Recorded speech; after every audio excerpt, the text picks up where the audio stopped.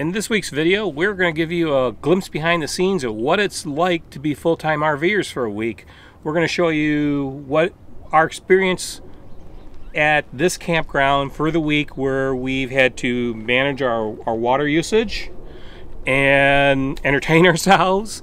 Um, this happened to be Christmas week, so it was a little bit different for us. We didn't really go out and explore as much because there's a lot more people out and around and we really didn't want to get mingling in the crowds.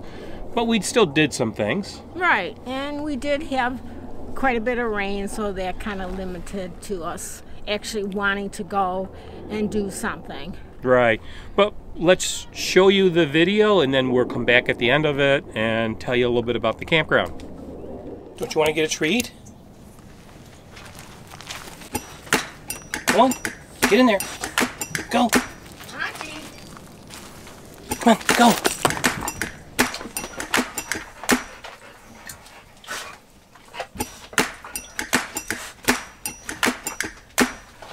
What's up today? Uh, laundry and Walmart, Albertsons, and Ulta. Oh, okay. Before the monsoon rolls in. More than I bargained for, I guess.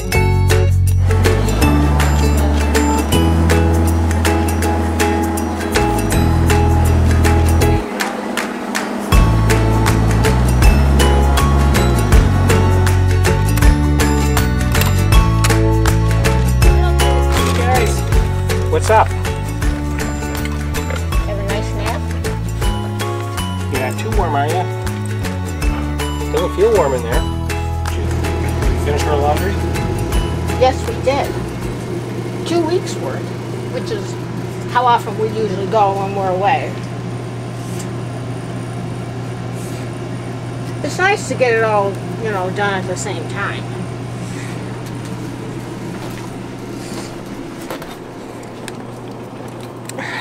You know, go to a laundromat with multiple machines.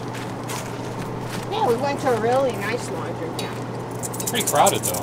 Yeah.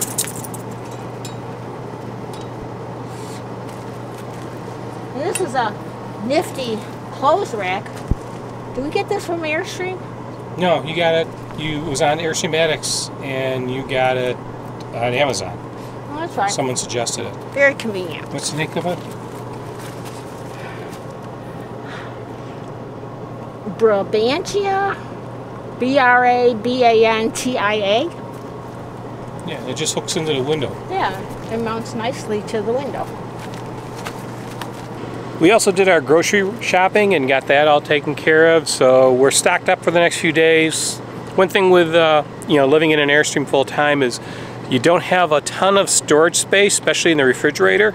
So we tend to need to go to the grocery store a couple times during the week and pick things up. So we don't get as much at each trip, but you know we still have to get it get it, I guess.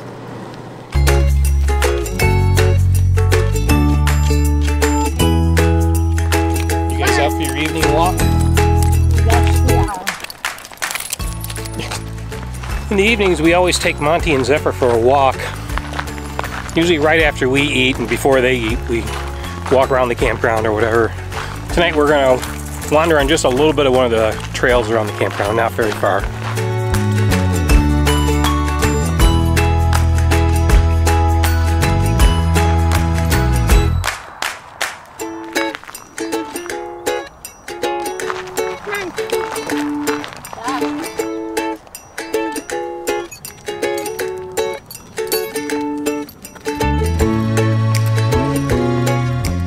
Made it back from our walk. It was a little longer than we thought. The trail that we took that I thought was just going to loop around the outside of the campground actually went all the way over to the visitor center and then we had to backtrack on a different trail over to back to the campground. So it was a little longer walk than we expected, probably another 10 20 minutes more than we really would have thought for today but we got a little bit of a trail hike and it was very scenic and the dogs enjoyed it now we're just gonna head in usually our evenings are you know watching the local news or watching the evening news and um, you know checking out some you know TV shows on Netflix or whatever. And then we read a little bit and then turn in for the night. So we're gonna do that and we'll catch you tomorrow.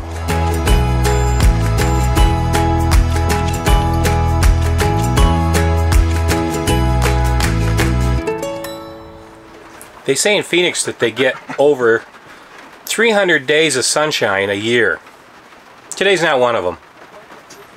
It looks like it's going to rain all day. It's been raining since middle of the night at least. And it's raining now and it's what after 9 o'clock. These dogs need to go outside for uh, that's what we do when we don't want to get them all excited. We just do our fingers like this which I think they understand now too. I guess we're gonna have to get the raincoat out for this one. Well, we waited for the rain to stop. It doesn't seem that it's going to. And these guys need to at least get outside for a couple minutes. So we're gonna do this in the rain today, guys. Now, we need to be quick. This isn't going to be a long walk. Remember, you guys are chows. You don't like getting your feet wet. It's a chow thing. I'm over here. All right, guys.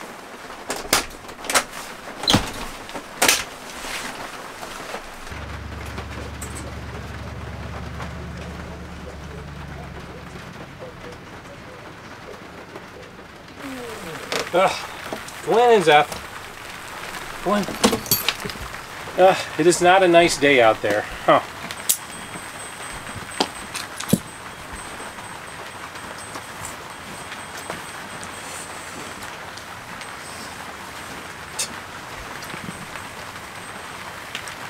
Let's go. Come on, let's go. Come on, come on, come on. Monty does not like getting dried off. Mostly he doesn't like people picking up his paws.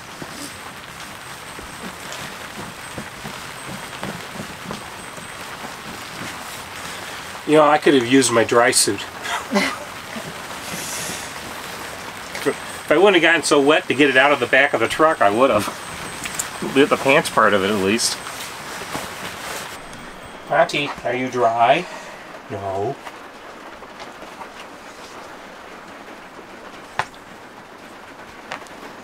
No, Wet I know. chows. I know you're all wet. Oh.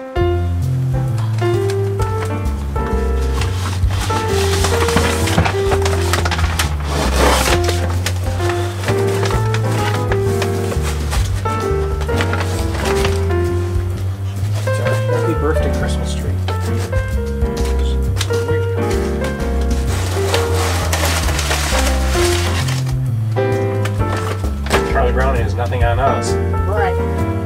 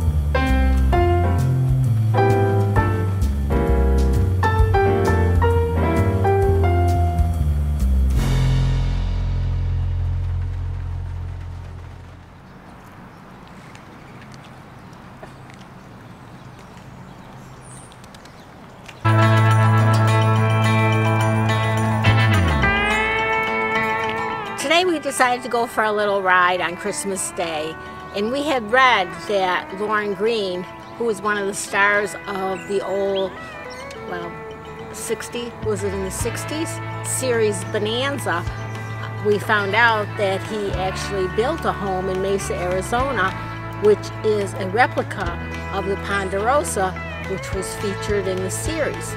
So we decided to go out and see if we could find it. Yeah, I don't think the original Ponderosa was on a golf course, but that, that might be the one difference. But, you know, if it was, you know, probably eventually a suburb built up around it and, you know, could have looked like this.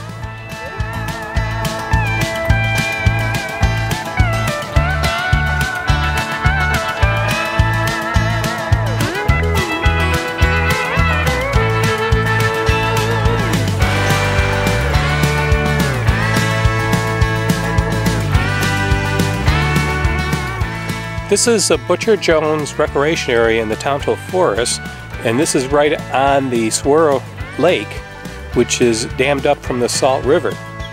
There's a lot, looks like a really nice recreation area. There's some boats out there. You can bring kayaks here and launch them off the beach.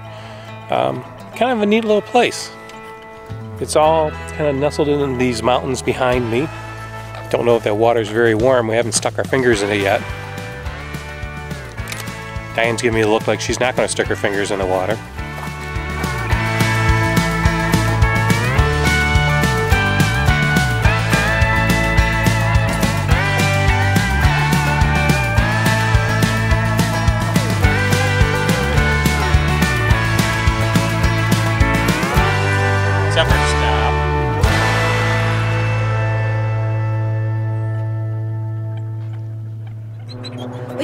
Another stop along the Salt River. This is the recreation area. Um, it looks like at some point along here there's supposed to be tubing, and uh, but we decided to stop here and take a look at the river and the beautiful mountains in the area.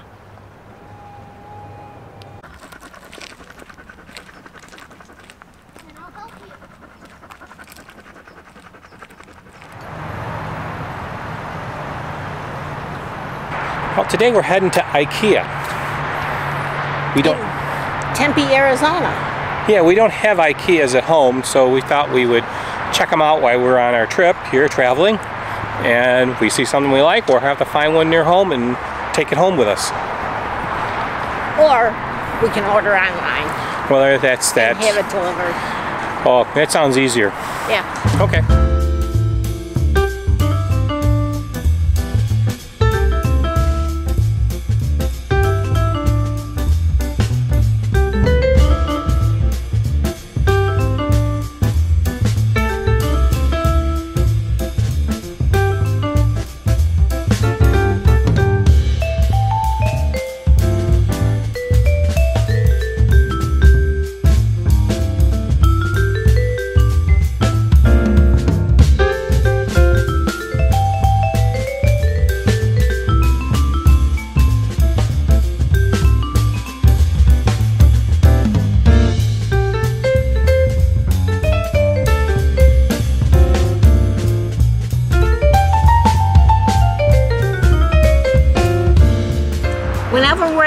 Arizona, in Tempe, Arizona to be exact, we usually try to stop at Ted's Hot Dogs.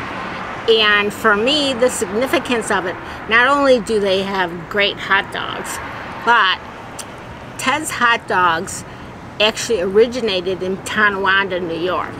And if you're familiar with the area around Buffalo or a native of Buffalo or the surrounding areas, I would say maybe even as far as Rochester, you visit Ted's whenever you go around the Buffalo area. There are several locations and um, yeah and I guess from what I heard when the one of the owners or the founders of Ted's Hot Dogs retired he retired to the Phoenix area and thus he built this location the only one in Arizona or the only um, one that's located anywhere outside the Buffalo area Yeah. so yeah but like I said they have great hot dogs.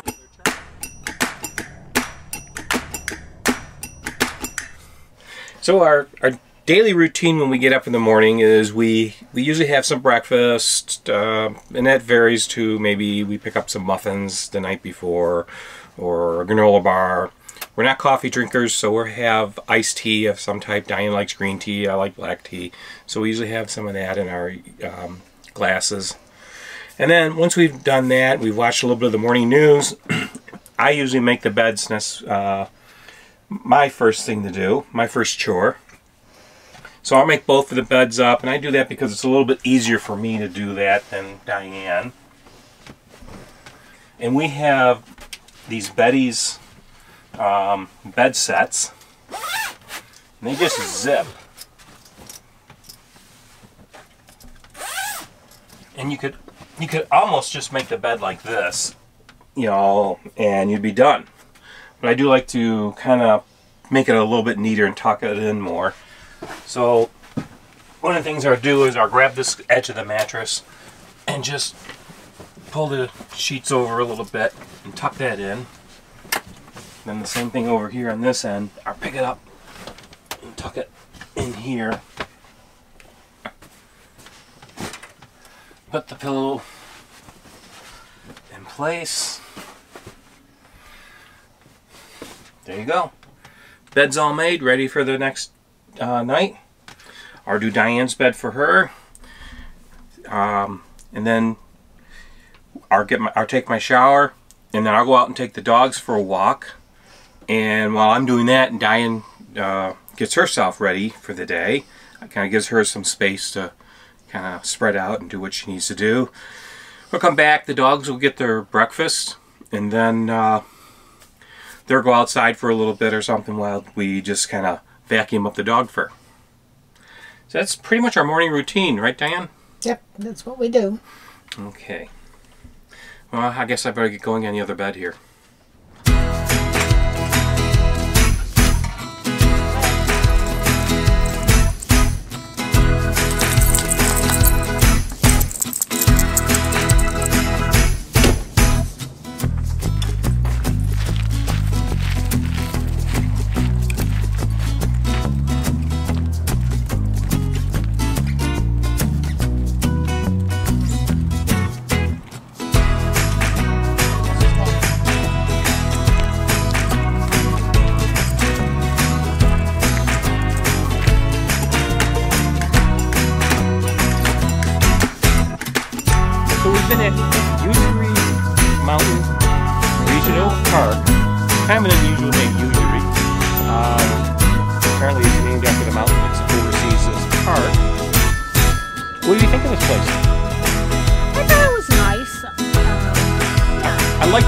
Of. It's probably one of the best located of the regional parks.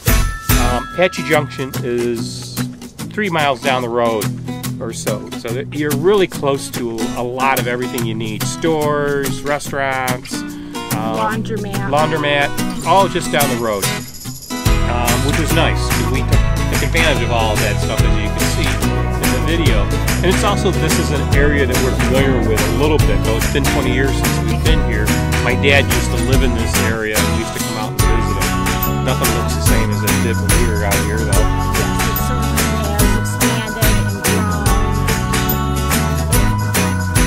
Very like everything else.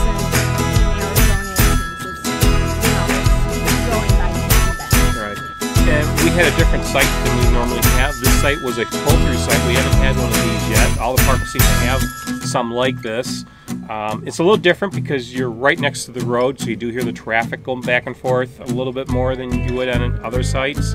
And you're kind of more exposed, though our trailer kind of blocked a lot of the view um, to the campsite of the site. But it was a nice site. I mean, it's surrounded by shade for the dogs, so they enjoyed it. Yep. And it had a very nice area And all these parks, so the view is close to the um, kind of desert scenery a little bit, so it's kind of nice uh, view here.